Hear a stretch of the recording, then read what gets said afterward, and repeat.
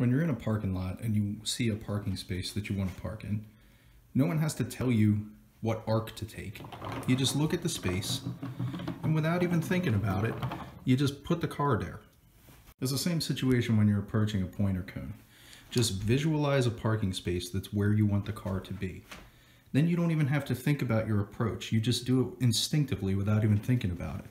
You just look at the parking space and you just think, I'm gonna put the car right there and you won't even think about it. You'll just do it. So same thing when you're doing a slalom, but you're just chaining them together.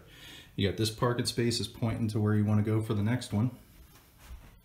And then when you actually get out on course, you just do it without even thinking about it and you end up backsiding all the cones exactly like you should.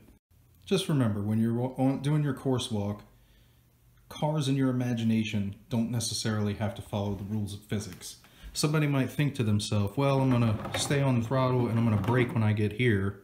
And this is where my turn-in point's going to be.